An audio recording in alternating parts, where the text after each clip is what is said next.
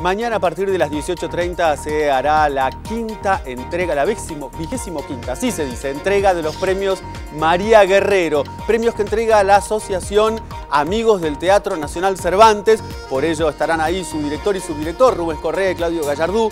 Y como también cuenta con el auspicio de la Oficina Cultural de la Embajada de la, Argentina, de España en Argentina, va a estar el embajador de España, el señor Román Oyarzún Marchesi. Ahora, más allá de las autoridades, de lo que se va a hablar y lo que se va a respirar en ese único teatro nacional que tiene la Argentina, es precisamente a las mejores producciones del último año. Así habrá ternas a rubros como Premio Revelación, Mejor Autor Argentino, Mejor Escenógrafo, Mejor Iluminador, Vestuario, Actriz de Reparto, mi voto para Victoria Almeida por Espejos Circulares, Mejor Actor de Reparto también, puedo volver a votar Guillermo Arengo por un tranvía llamado Deseo, Actriz Principal, Actor Principal y Mejor Director. Todos ellos serán los rubros entonces que estarán premiándose mañana a las 18.30 en uno de los premios más queridos por el teatro argentino. Vigésimo quinta entrega entonces de los premios María Guerrero a lo mejor de la producción teatral.